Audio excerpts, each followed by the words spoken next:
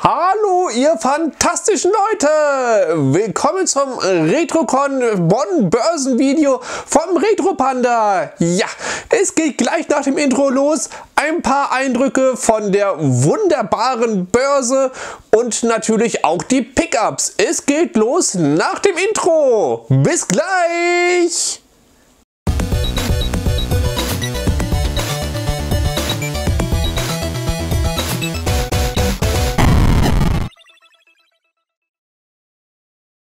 Hallo, ihr fantastischen Menschen da draußen. Auch von mir auch Hallo. Mein neuer Kollege hat ja schon die Einleitung übernommen. Ja, ich bin gerade von der RetroCon in Bonn gekommen. Ja, es war wieder eine fantastische Veranstaltung. Das war ja bisher meine RetroCon, also von diesem Veranstalter.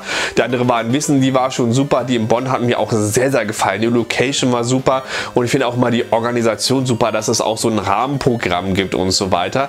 Aber bevor ich es vergesse, an erster Stelle Stelle natürlich äh, Danke an denen, die mich angesprochen haben und dass wir mal so ein paar Worte gewechselt haben. Hat mir viel Spaß gemacht, sich mit euch einfach mal zu unterhalten und so ein bisschen ausgetauscht. Ähm, ich musste ganz schmunzeln, dass Leute wegen mir Gameboy sammeln angefangen haben oder nicht nur wegen mir natürlich, aber ne, äh, ihr wisst schon, was ich meine. So, so grundsätzlich, dass ich so ein bisschen vielleicht so den Push dazu gegeben habe. Fand ich super. An dieser Stelle Grüße an euch. Ihr wisst, wen ich meine auf jeden Fall, weil wir haben uns ja unterhalten. Und wenn ihr mich mal auf einer Börse seht, äh, also ich nenne diese Veranstaltung jetzt immer alle Börse, auch wenn es natürlich verschiedene Veranstalter sind, aber für mich ist das immer irgendwie eine Börse auf jeden Fall. Keine Ahnung wieso, das hat sich bei mir irgendwie so eingebrannt. Einfach mal anlabern, ich freue mich immer, wenn wir so ein paar Worte einfach wechseln können. Ist super auf jeden Fall. Und an dieser Stelle natürlich vielen Dank an meine Mit-YouTuber. Wir waren ja so ein bisschen zusammen unterwegs. Wir haben ja schon mittlerweile so eine Art festes Team gebildet. Also der Retro Joe, Maren Kanix und der gute Kuruji natürlich. Der Chris, der Mitron, der war diesmal leider nicht dabei. Auch an dieser Stelle viele Grüße an dich auf jeden Fall. Ja, war natürlich wieder fantastisch mit euch loszuziehen und einfach mal so ein bisschen die Börse unsicher zu machen. War sehr sehr, sehr geil und ähm, ja, ich war sogar auf der Bühne, war ich ganz überrascht. Da gab es nämlich eine Versteigerung von einer super Yoshi's Island Shadow Box von der guten Flo, die hat die gebastelt und gespendet. Auch an dieser Stelle super Aktion von dir, vielen Dank dafür.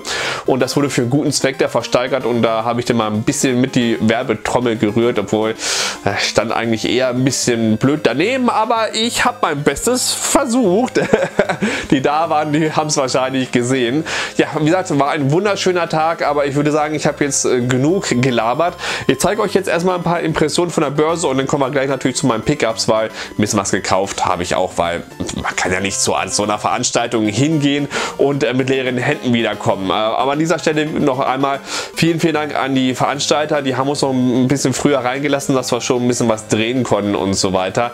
Das war super, super. Ist natürlich mal ein bisschen besser, wenn man das drehen kann, wenn noch nicht so viel los ist. Ähm, wie gesagt, vielen Dank an dieser Stelle und jetzt viel Spaß mit den Impressionen.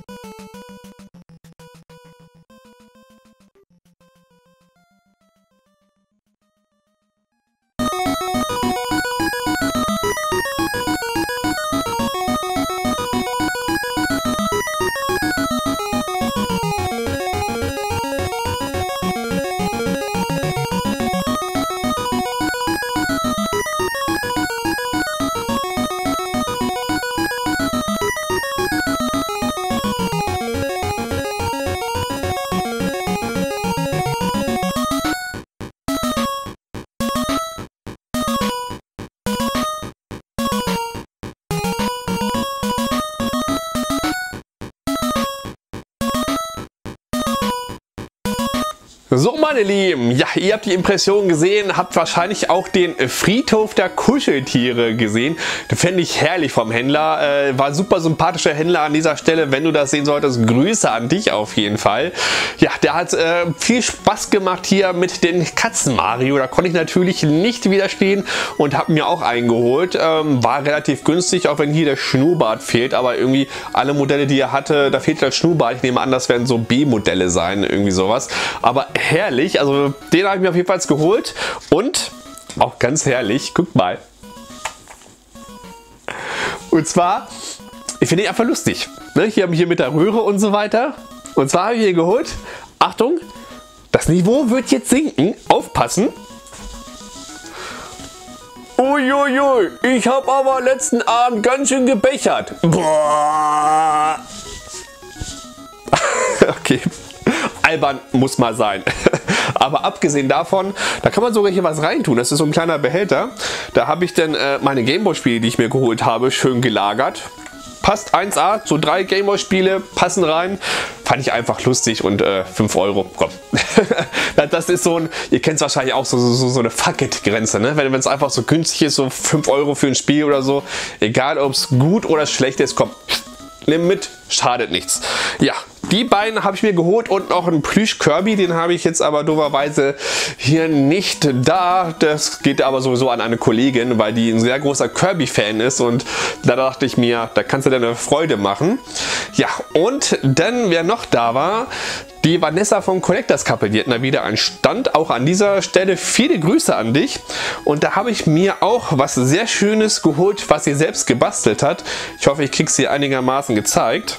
Und zwar hat die mit diesen Bügelperlen äh, ich gucke mal so, dass nicht unbedingt mein Gesicht im Fokus ist. So, diese Secret of Mana Figuren, also einmal den Jungen, einmal die Prinzessin und natürlich Raffi und die Koboldin mit diesen Bügelperlen gemacht und als ich die gesehen habe, die hatte sie da gerade irgendwie ausgepackt und äh, war sich so unsicher, habe mich gefragt, so sag mal, wo soll ich die denn hinstellen hier auf den Stand, weil ne, die stehen ja natürlich nicht so gut und sowas. Weil ich so, hm, die sehen verdammt gut aus, wie teuer sind die denn? Ja, 20 Euro. Ja, 20 Euro kommt nämlich mit, weil da stehen sitzen so viel Materialkosten und Arbeitszeit drin. Also das war ein Schnäppchen äh, nach meiner Ansicht nach. Und deswegen musste ich mir die gleich kleine, musste sie auch gar nicht aufbauen. Ne? Also im Prinzip habe ich mich natürlich geopfert und die genommen. Aber herrliche Dinge einfach. Ich muss mal gucken, wo ich einen Platz dafür finde. Aber die Dinger sind super gemacht. Vor allen Dingen finde ich Raffi richtig geil. Äh, den wollte ich eigentlich haben, aber komm, für alle 20 Euro kannst du mitnehmen. So, und dann kommen wir zu einer kleinen Sache und zwar einem kleinen Mitbringsel. Das World of Warcraft Kochbuch. Und zwar hat mir das gute, der gute Joe äh, mitgebracht. Ähm, da sind halt so ein bisschen, ja, so äh, ein paar Rezepte drin, natürlich so von World of Warcraft inspiriert, haben teilweise dann auch natürlich auch dieselben Namen und so weiter. Der Joe hat nämlich bei sich zu Hause ausgemistet und hat gefragt, wer es gebrauchen kann in unserer Gruppe. Das hat sich natürlich keiner gemeldet, deswegen meinte er, Herr Panda, hast du letztens gefragt, so, ob wer mal neue Rezepte kennt, dann kriegst du das. Gut, geschenkt, da wehre ich mich nicht, würde ich sagen. Ne? Also auch an dieser Stelle vielen Dank natürlich an dich. Ja, und dann kommen wir auch zu weiteren Printerzeugnissen, denn ich habe natürlich wieder mir fleißig Spieleberater geholt. Und zwar einmal der NES Spieleberater. Ta -ta -ta -ta -ta. Ich zeige ihn euch mal. So, also einen ganz äh, vernünftigen Zustand auf jeden Fall. Ihr wisst natürlich, was das bedeutet. Ne? Neue Blätter folgen auf jeden Fall.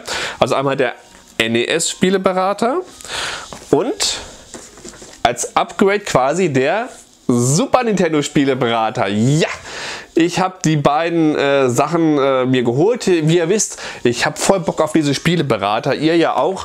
Ähm, ich sehe regelmäßig in den Blätterfolgen sind die Spieleberaterfolgen eigentlich immer sehr, sehr beliebt. Also habt ihr genauso viel Spaß dran wie ich und äh, ihr wisst natürlich, was das bedeutet. Nämlich, ne, es wird mal wieder ordentlich geblättert. Beide in sehr guten Zustand, würde ich sagen. Leider, was ich nicht gefunden habe, was ich ja noch suche, ist der Gameboy Spieleberater 2. Ja, der erschien ja relativ selten, ist dadurch natürlich auch äh, relativ teuer. Den natürlich für einen einigermaßen vernünftigen Preis zu finden, ist natürlich immer nicht ganz einfach, aber äh, irgendwann findet man das. Ne? Und ich denke mal, solange ich immer noch genug Material für eventuelle Blätterfolgen habe, passt das einfach, weil es macht einfach Spaß mit euch zusammen diese ganzen Sachen durchzustöbern auf jeden Fall. Ja, das waren die Printerzeugnisse, sehe ich gerade. So, dann kommen wir mal zu den Spielen. Und zwar habe ich geholt, äh, beziehungsweise im Tausch mit der guten Maren, ActRaiser 2. Ja, ActRaiser ist ja eins dieser ersten oder dieser Spiele, die ganz am Anfang vom Super Nintendo Lebenszyklus erschienen sind und ähm, ein bisschen viel verstanden waren. Früher hat man dieses Konzept noch nicht ganz verstanden, aber heute eigentlich einen ganz guten Ruf hat. Ne? Diese, diese Mischung aus quasi Basis- oder Stadtbau plus den äh, 2D-Action-Szenen. Das kam natürlich sehr gut an. Ja, der zweite Teil, ähm, ich sehe es an den Aufnahmen, ich habe ein bisschen reingespielt, ich habe erstmal so gar nichts gerafft irgendwie, aber es war auf jeden Fall wesentlich mehr Fokus auf diesen 2D-Action-Plattformer Teil machen auf jeden Fall. Aber ich würde sagen, schauen wir einfach mal rein, wenn ich mal Zeit habe und weiß, wie ich da irgendwie weiterkomme, dann mache ich sicherlich ein Video dazu auf jeden Fall. So, dann habe ich mir noch ein Game Gear Spiel geholt und zwar Genau eins. Und zwar, ihr seht, ich habe hier meine Sammlung um etwas mit anderen Ständern versorgt, dass das etwas besser ist. Und hier genau passt nämlich noch eins rein. Und deswegen habe ich mir erstmal nur eins geholt. Und zwar Factory Panic. Ja, da gibt es äh, gefühlt Dutzende Versionen von. Ähm, ich glaube, da gibt es auch so ganz coole Versionen mit, mit irgendwie Kommunismus oder irgendwie sowas. Ich habe irgendwas im Hinterkopf irgendwo mal gesehen, keine Ahnung, welche Version das ist. Oder ob ich das falsch im Kopf habe. Das ist so, dass ihr quasi in einer Fabrik seid mit verschiedenen Laufbändern, wo ihr verschiedene Weichen habt, die ihr stellen müsst. Und äh, es gibt quasi einen Anfang, wo irgendwelche Produkte oder schlechte Produkte dieses Laufband entlang fahren und äh, quasi ein Ende, wo die richtigen Produkte ankommen sollen. Und ihr müsst halt die Weichen immer so entsprechend stellen, dass das entsprechend dann halt auch dahin fließt. Könnt ihr natürlich nicht ganz ungestört machen, weil eine Wache rumläuft und so weiter. Äh, Finde ich ein nettes kleines Spiel, werde ich bestimmt auch mal ein Video dazu machen, wobei Factory Panic, glaube ich, für wirklich Dutzende Systeme umgesetzt wurde auf jeden Fall. Ja, und dann habe ich mir noch drei Gameboy-Spiele geholt. Fangen wir an mit Marus Mission ähm, als ich das Spiel gesehen habe, fiel mir irgendwie ein, den Namen hast du schon mal gehört. Den Namen hast du schon mal gehört. Und ähm, ich habe irgendwo gehört, dass das so ein bisschen als Hidden Gem gehandelt wird. Also durchaus ähm, als, als gutes Spiel. Das war, hat mich natürlich neugierig gemacht. Wobei, ihr seht das Cover ist natürlich selten hässlich. Also wenn man das so sieht, Ah, als ob das irgendwie so ein Dreijähriger gezeichnet hätte oder ähnliches. Finde ich aber interessant, auch beim Reinspielen. Ihr seht es an den Szenen, macht einen interessanten Eindruck auf jeden Fall. Also ich denke mal, früher oder später auch mal eine Was taugt Folge zu machen. Macht sehr, sehr guten Eindruck. Was keinen guten Eindruck gemacht hat und wahrscheinlich eher ein Kandidat für Retro Panda quält sich ist. Aber als ich den Titel gesehen habe, ich fand ihn einfach so schön trashig. Robocop vs. Terminator. Also wenn das nicht pure 80er, 90er Actionfilm-Power ist quasi. Ja, ähm, ihr seht es wahrscheinlich selber. Fest bei diesen Minute oder was das ist anspielen. Ich habe absolut keinen Spaß gemacht. Das Spiel steuert sich schrecklich. Aber naja, ehrlich gesagt, sowas in der Art habe ich auch erwartet. Ähm, ne? Also davon mal ganz abgesehen. Was allerdings nicht so verkehrt ist, ist Sneaky Snakes. Das äh, habe ich mal beim guten Waldemar, glaube ich, also Weidemann, äh, gesehen. Und zwar ist das äh, ein Spiel von Rare und ihr kennt vielleicht auf dem NES dieses Snake Rattle und Roll. Das ist so isometrisch, ihr habt eine verschiedene Schlange, ihr müsst äh, quasi äh, wachsen, um zum Levelausgang dann auf eine Waage entsprechend den Ausgang zu öffnen und so weiter. Und dieses Konzept haben sie quasi für den Game Boy etwas abgeändert. Und zwar haben sie da einen Plattformer draus gemacht. Das Ziel ist im Prinzip dasselbe, also dass ihr äh, euch groß fresst quasi, damit ihr dann den Eingang öffnen kann, aber halt als 2D-Plattformer. Fand ich ganz interessant die Idee und ähm, irgendwie fasziniert mich dieser Snake, Snake Rattle and Roll. Boah, was für ein Zungenbrecher, Freunde. ähm, äh, hat mich das immer ein bisschen fasziniert, weil ich früher immer die Werbeanzeigen für das NES-Spiel gesehen habe und so weiter. Deswegen äh, habe ich mich ganz gefreut, dass ich das äh, mal für meine Sammlung gefunden habe. Wie üblich habe ich natürlich nicht die Spiele gefunden, die ich eigentlich gesucht habe. Ich äh, habe euch ja, mit dem ich mich unterhalten habe, mein Leid geklagt. Ich wollte eigentlich Tailspin haben. Ähm, also hier Captain Baloo das Spiel. Ich habe das schon in Düsseldorf gesucht, aber so selten ist das doch gar nicht. Aber wie es halt bei diesen Börsen natürlich logischerweise so ist, man geht immer mit einer gewissen Erwartung hin, ich will Spiel XY haben und was findet man? Genau, nämlich nicht das, aber halt ein, sowas wie den Kotze Mario. Hey, ne? Das waren meine Börsen-Pickups, aber ich habe natürlich auch noch andere Pickups und zwar fängt die Reise an. Vorbestellt natürlich, ja, die meisten von euch haben es auch logischerweise, die Secret of Mana Collection für die Switch. Wollte ich natürlich physisch haben, deswegen habe ich gewartet. Allerdings, äh, wie ihr seht, ist es noch eingepackt keine Zeit gehabt zum Spielen und ähm, aber irgendwann wird es mal rausgeholt, würde ich sagen. Ähm, so meine Neugier auf Secret of Mana 2 ist auch nicht so hoch, weil ich habe ja schon mal ein Let's Play davon gehabt, weil ich ja ein deutsch gepatchtes äh, SNES-Modul habe als, als Repo. Ähm, deswegen war es jetzt nicht so von wegen, oh, ich will jetzt unbedingt mal Secret of Mana 2 erleben. Aber ja, wird auf jeden Fall mal in einer ruhigen Minute mal angespielt. Was ich euch jetzt nur kurz in die Kamera halte. Ihr habt ja äh, frei, letzten Freitag das Unboxing gesehen. Ja, Link's Awakening äh, für die Switch. Ich habe jetzt natürlich so ein bisschen weiter reingespielt. Ich muss mal kurz äh, das zur Seite packen. Ich bin jetzt beim dritten Dungeon. Ich habe leider bisher nicht viel Zeit gehabt zu spielen. Ich musste äh, letzten Samstag arbeiten, dann war jetzt die Börse und so weiter. Aber ich habe jetzt Urlaub. Da werde ich, denke ich mal, das Spiel auf jeden Fall durchzocken. Ist ja zum Glück nicht allzu lang. Ersteindruck, ja, knuffig, schön, Super, perfekt. Ich finde es herrlich. Schönes und würdiges Remake. Es gibt natürlich hier noch ein bisschen Performance-Probleme. Das ist nicht ideal, aber zumindest bisher hat es jetzt den Spielspaß jetzt nicht großartig eingeschränkt. Also falls ihr euch überlegt, ob ihr das Spiel euch holen sollt, mein Segen habt ihr. Nicht, dass ihr den brauchen würdet, aber äh, ihr wisst, was ich meine. Ja, und dann habe ich noch auf Twitter ein kleines PC Big Box Schnäppchen gemacht.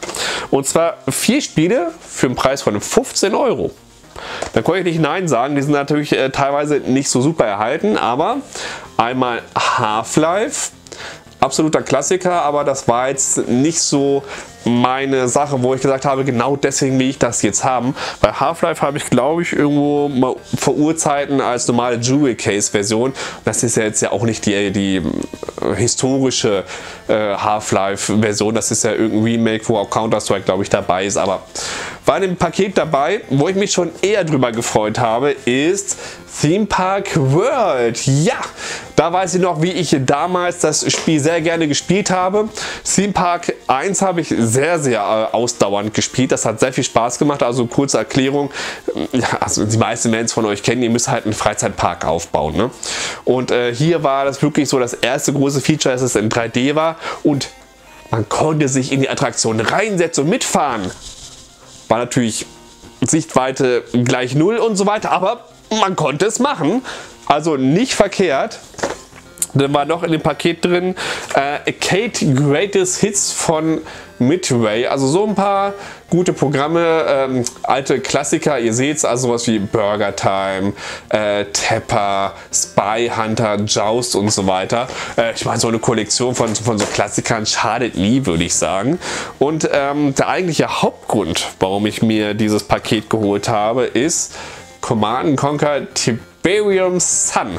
Ha, weil von dem Spiel, da habe ich so eine persönliche Rechnung offen. Weil es, das ist so das erste Spiel, wo ich so mich daran erinnern kann, dass ich durch einen extremen Hype enorm gestört, nee, also enttäuscht, Gott, Entschuldigung, langer Tag, deswegen die Versprecher, enttäuscht war, weil es war große, der große Hype-Train war am Laufen und ich bin extra in die Großstadt nebenan gefahren, habe mir die Version geholt und habe mir sogar so, so eine Tiberian Sun Armbanduhr besorgt und war voll gehypt. Ja, und dann spielte man das irgendwie und so geil wie versprochen war es dann irgendwie doch nicht. Ne? Und äh, ja, deswegen ist es so ein bisschen als eine meiner großen Enttäuschungen der Spielegeschichte, so hat sich das eingebrannt. Und deswegen muss das in die Sammlung. Auf jeden Fall ins Regal. Und alle vier Spiele für 15 Euro ist ein sehr fairer Kurs, würde ich sagen. Äh, ja, und ich würde sagen, das war es dann auch schon mit meinen Pickups. Ich sehe gerade aber auch, das Video ist eh lang genug. Ja, an dieser Stelle mal ausnahmsweise an einem Montag, aber ich wollte mal relativ aktuell über die Börse in, in Bonn berichten oder die RetroCon in Bonn. War wirklich eine super Veranstaltung, hat mir sehr viel Spaß gemacht und äh, wenn ihr das nächste Mal die Chance habt, auf so eine RetroCon zu gehen, Geht hin, macht Spaß, man trifft viele Gleichgesinnte und es sind auch mal viele YouTuber unterwegs. Ähm, es macht einfach Spaß. Und man findet irgendwie immer was, auch wenn man das nicht so dran gedacht hat, irgendwie zum Beispiel diese Plüschtiere oder sowas. Herrlich, kann ich euch wirklich nur empfehlen. Ähm, und vielleicht sehen wir uns auf einer der nächsten Börsen. Äh, wo ich denn bin, ich kündige das vorher immer bei Twitter oder hier im neuen Community-Tab quasi an. Ähm, hat mir jedenfalls wieder Spaß gemacht, euch äh, meine Pickups und ein bisschen meine Eindrücke zu zeigen. Ich wünsche euch noch einen wunderschönen Tag, egal wann ihr das seht, äh, oder eine wunderschöne Woche. So, machen wir das so. Macht's gut und danke, dass ihr eingeschaltet habt. Tschüss.